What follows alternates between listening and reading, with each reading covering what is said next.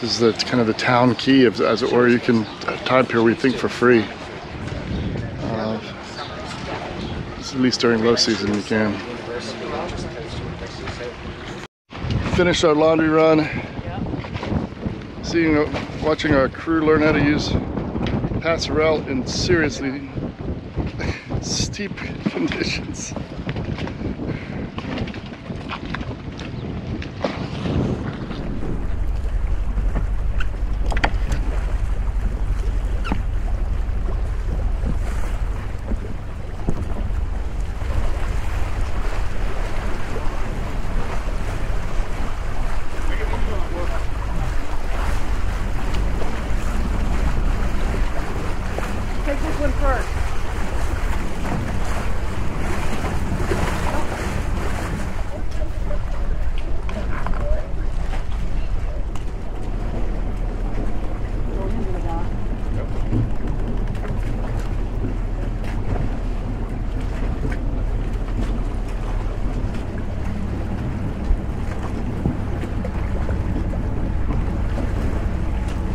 That's it.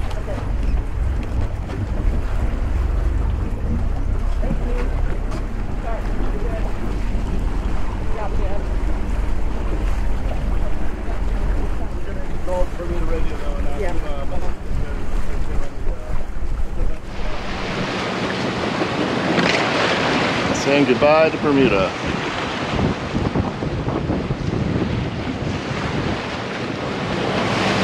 Stick it, Scott.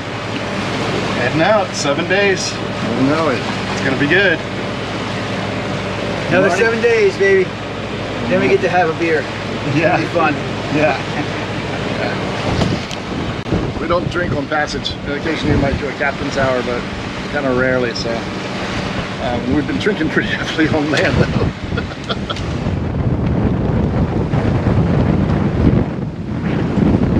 Saying goodbye to Bermuda. Off we go. Close hauled and about oh, what, six and a half knots, seven knots. It's going to be a beautiful few days to start. We're not so sure about the second half.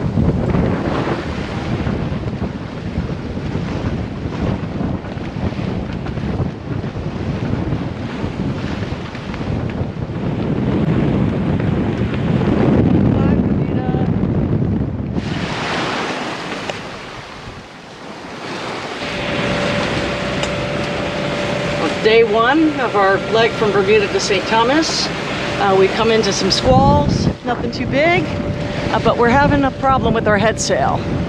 Uh, we think it's doing the wrap at the top again. Uh, we've had we've had that problem with it before, um, and now it's jammed. We can't bring the sail down physically uh, to take it off the, the um, foil. We can't furl it up, and we can't let it out. So it's all the way out. Um, once we get past these squalls, I think Kevin's going to be going up the mast while we're out here at sea. Luckily, it's calmed down a bit. Uh, the, the waves aren't super large. Um, we're only seeing 19 knots of wind in this squall. Uh, so we're hopeful that once it passes, we'll, we'll be uh, able to take care of this and get the sail dealt with. Luckily, we're able to get around these squalls back here. So we've dodged them. And now we're just trying to get past this one over here. Once we're through that, there shouldn't be any other squalls on the on the horizon. So wish us luck. So the situation is we uh, we started to reef our headsail and something wrapped up top. It's been kind of an ongoing problem with this furler. It just it's, it's the upper swivel is slowly dying and, and, and seizing up, and it's uh, it's wrapped the. I mean, I purposely wrapped the halyard in order to get to get it to furl before, uh, because it wouldn't spin. The, the swivel wouldn't spin. And now we're basically dodging squalls uh, with our entire headsail out, which is a huge 145% Genoa, and and unable to do anything to, to, to reduce sail at all. And uh, it, it won't even turn back out anymore.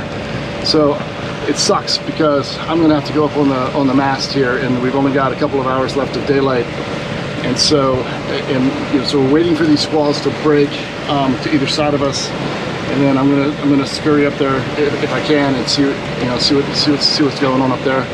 Um, and it's just it's not something I'm real excited about doing.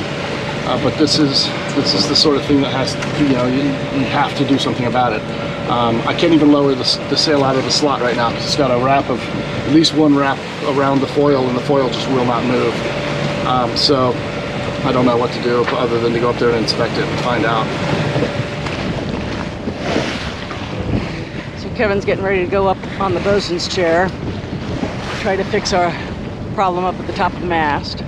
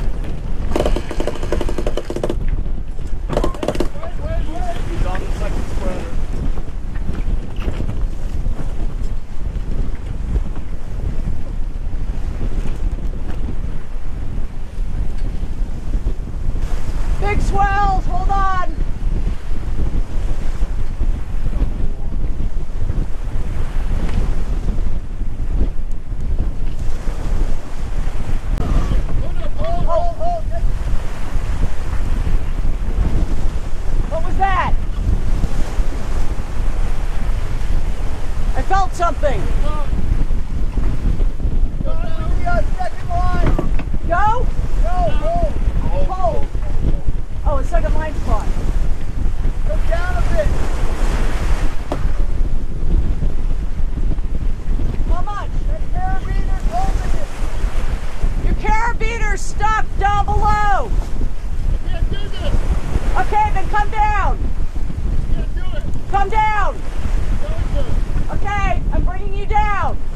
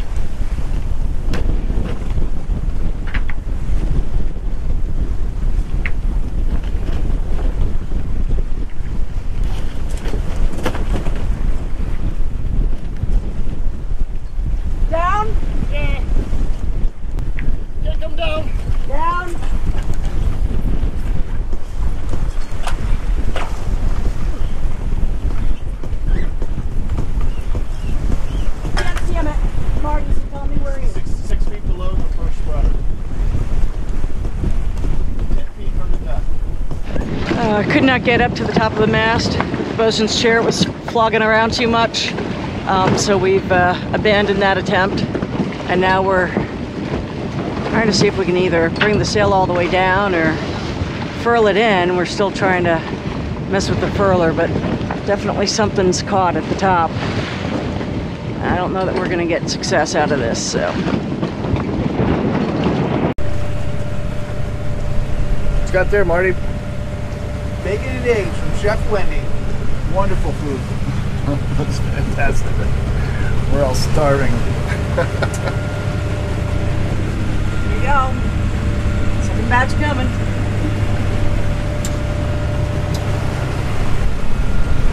Well, at least we're getting good food. Uh, we've had a tough night because of the head sail being jammed and unable to be furled, and so now we're kind of motor sailing. There's not there's not much wind, not enough to move the boat. So and there's a lot of squalls around. But the PredictWind on the Iridium is, is telling us that we should be getting the wind filling in here in a bit, and I hope it does because we can't motor the whole way um, to the Virgin Islands. It's not going to happen, so we have to find a way to get the boat moving. But anyway, at least we'll have a full belly when we run out of fuel and are lost at sea. I got down in the salon with a pair of binoculars to look at the at the headsail swivel and try to figure out what's going on with it. And it looks to me like it's just totally exploded. And it appears that fabric is coming out the top of it, but I don't think that's what it is. Both both sails are in great condition. There's no damage to them, so there's no source of fabric available. I think that that's most likely that it's a, the plastic inner cone of the swivel is, is I think the whole thing's just pulled apart. It has a kind of a split ring that runs around in a circle that holds the whole thing together, and um, it may have it may have popped loose from its track or something, and that would mean all the ball bearings are gone and everything else. I haven't seen any ball bearings on the deck though. Then on the other hand, we had some serious weather the other night, and um, in, in short, the, the furler is totally screwed, or the fur, upper furling swivel is, is completely gone, and we cannot furl the main at all. Uh, so what we're going to do, and, and, we, and, if we do furl it, if we did find a way to, to lash it up to the forestay, which is kind of plan B if we need to, once we do that, we don't have enough sail to actually sail the boat, and we don't have enough fuel to sail to, to motor all the way to the Virgin Islands. So, you know, having the sail out is great as long as we have some wind. Um, but we haven't had any wind lately, and when with all the squalls around, we're afraid that the wind that we might get could be really off the chart, and um, it, it, sucks to have your, you know, your, your sail not reefed if that, if that happens. So we're just going to have to play it by ear and see. I mean, we are moving in the right direction, and we haven't really eaten into our fuel too bad yet. So we'll see how it goes. Well, according to Scott back here, it uh, he was seeing you know, seven and a half, eight, you know, high seven knot boat speeds, uh, and a little bit heavier winds uh, an hour ago, but it's starting to starting to tail off a tad. We've had great wind the last 24, maybe 18 hours since yesterday afternoon, and uh, rolled been rolling off about 150 mile per 24 hour period. Um, which is good because we're kind of babying our head sail, trying to not. We have had to do a lot of evasive action for for um, for squalls. And squalls are, you know, isolated cells of high intensity wind and rain. Uh, very common to this neck of the woods the, as we head toward the Caribbean, and um, it's uh, it's not something you want to mess around with. Our track is maybe I'll go show it, but it was uh, it was crazy. We actually had to motor a few times to try to go, um, you know, directly into the wind uh, in order to try to um, keep the sail from from um, being overstressed.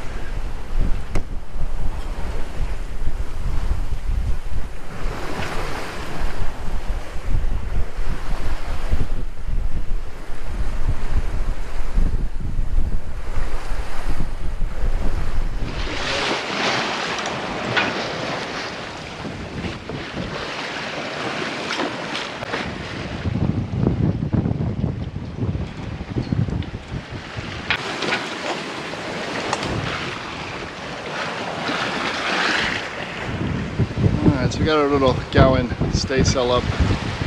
Already got another knot of wind. Uh, it sucks about this headsail furler, but luckily for us, at least so far, the wind prediction for the wind is um, it's, it's pretty steady. There's Miss Wendy, Captain Wendy. Captain Wendy Bly making everyone work and put up staysails when they would rather That's sleep. right, when I could have just been reading my book. More, No. more speed, I say. Faster, Faster, faster. stronger, better.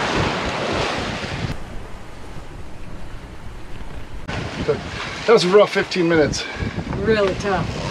now you need a beer, except you can't have one. Not allowed that beer on passage.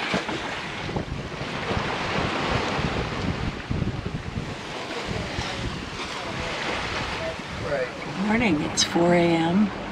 I'm on watch. We're just dodging a few squalls, but nothing too crazy.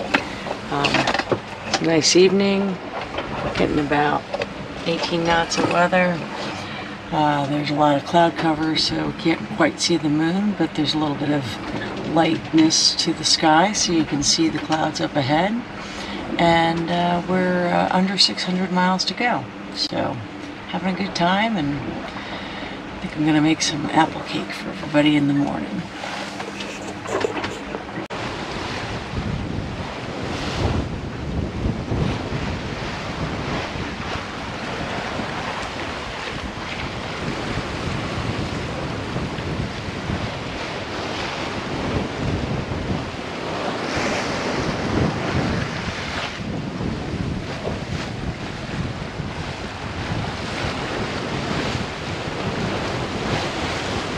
About seven o'clock now.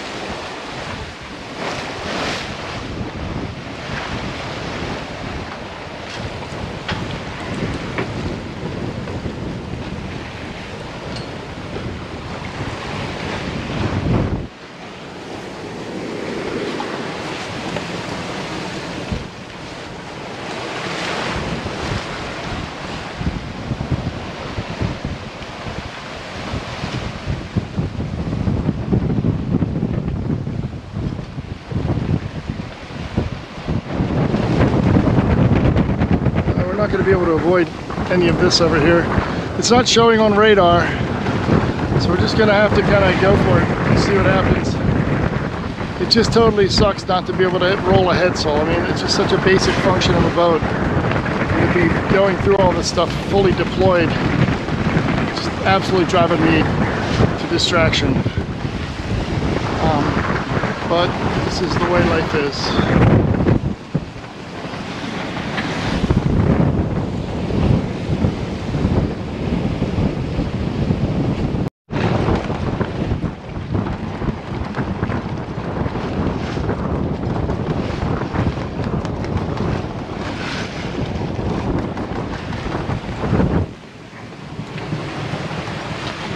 Might be pinching a little bit. Day 435, I think, on our trip to St. Thomas. We are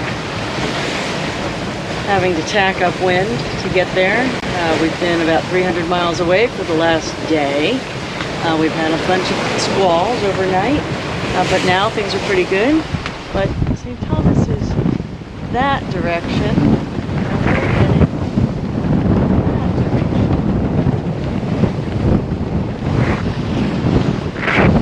I think Puerto Rico might be in our future if we keep this up, but we just got to do what we got to do, and eventually we will get there. Everything's looking good. Boat's holding up well. Crew's a little sleepy after a kind of crappy night, and we'll just keep motoring on. Excuse me, we're not motoring. We're sailing. We're sailors.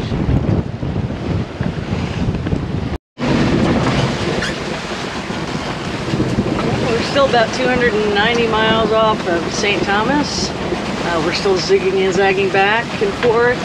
Uh, but this afternoon, the wind is supposed to switch around, and hopefully by the end of the day tomorrow, we'll be able to make the last couple hundred miles in to the island, which is that way. A couple hundred miles. And we're going. Uh, there's supposed to be some squalls and um, rain coming, so we're uh, trying to get out from, from where it's going to be and then be ready for the wind to shift around on us tomorrow and take us into St. Thomas. So, meanwhile, it is a beautiful day, and even if we're not sailing exactly towards our destination, we are sailing pretty damn well. It is a lot of fun.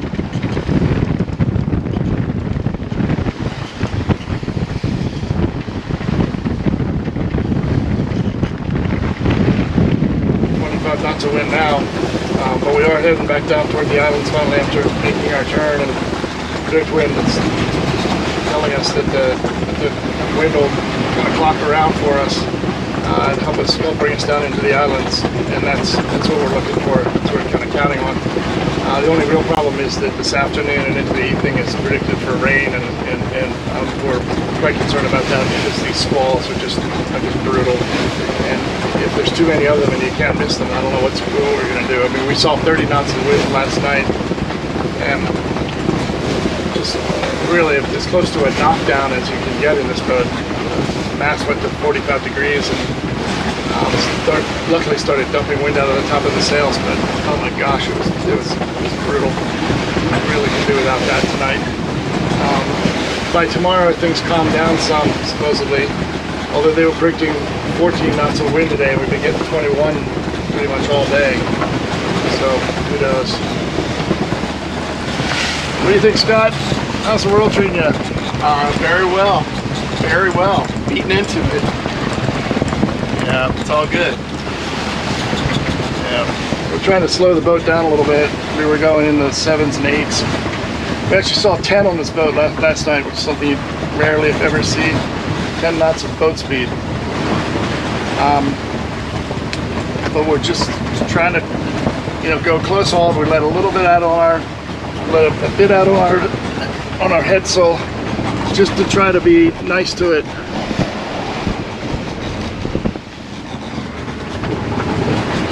Talisman is proving her blue water um, creds right now.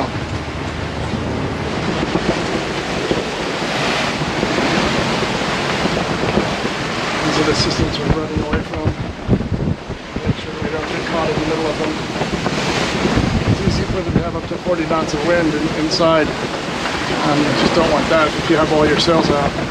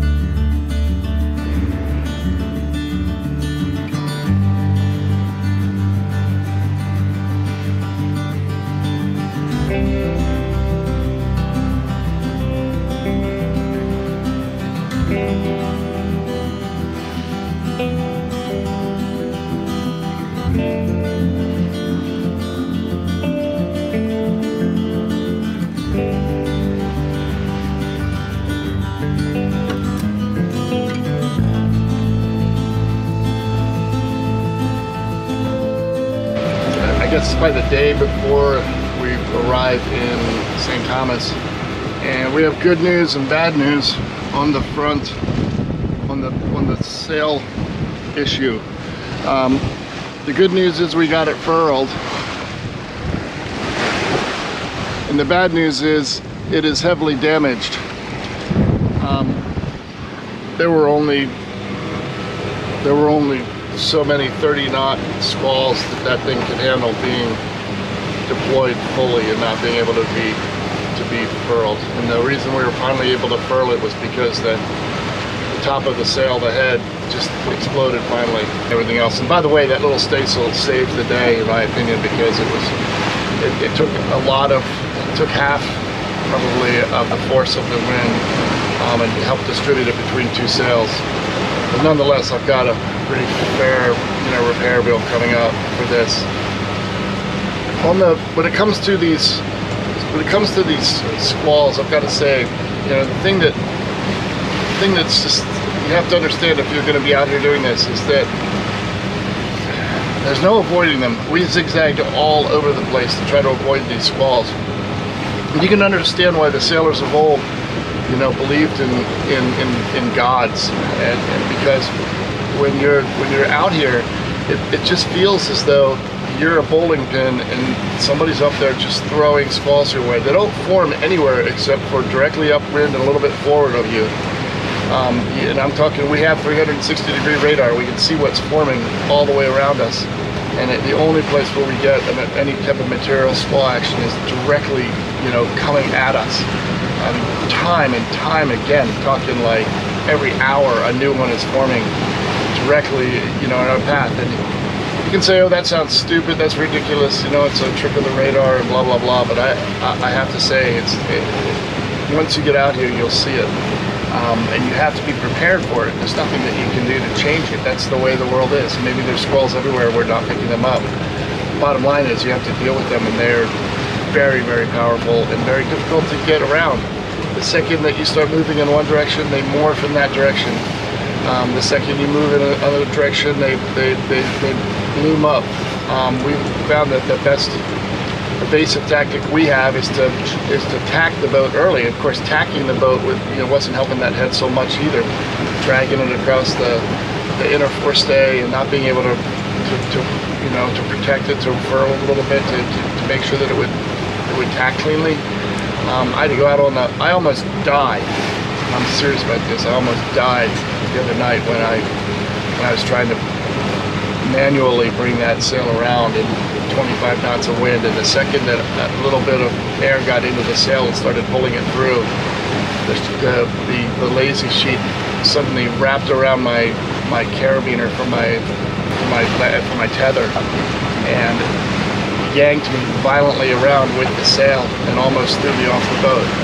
Um, and, you know, I was tethered in and everything, but it would have, the choices would have been having my body ripped in half or, or, or somehow being stretched, uh, being thrown off the, you know, off the side of the boat at least, hanging by the thing. So that was a pretty scary moment. Um, that's unfortunately the situation we've been dealing with.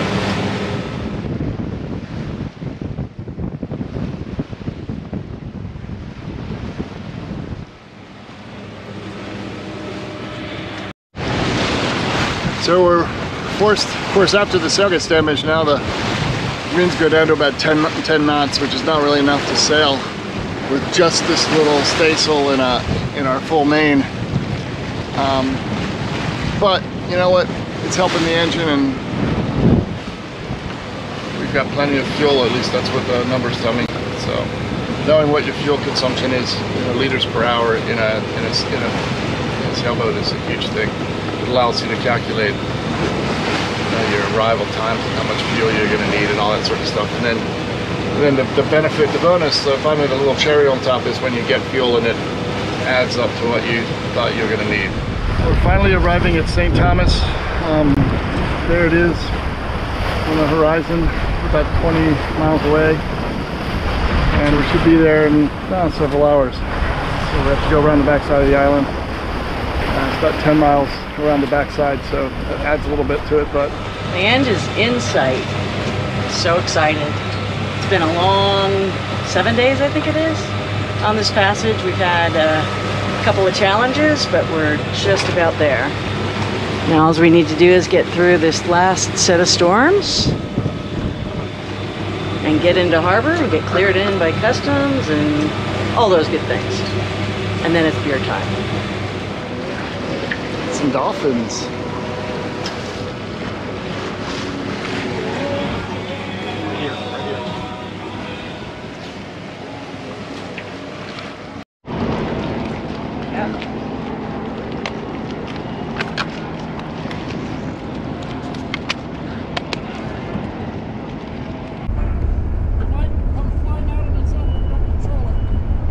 Well, here's what we're looking at. As you can see, this is all caught up in there.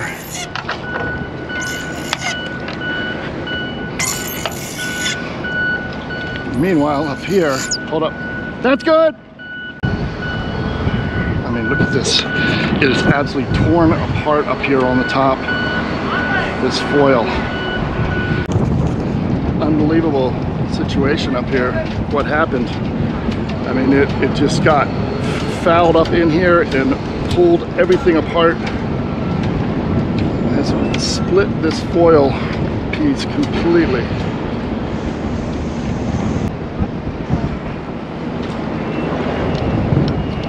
So we're looking at 19.1 on this. Um, that's that's that's good because it's the same uh, size pin as what's uh, what's down below.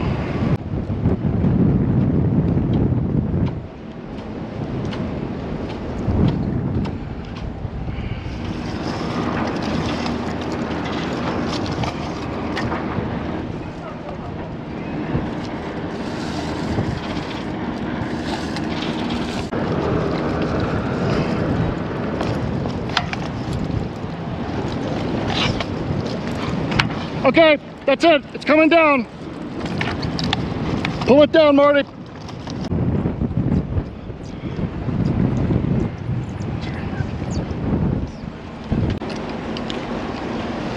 Nice job, Cavarino. Now we get to fold it all up.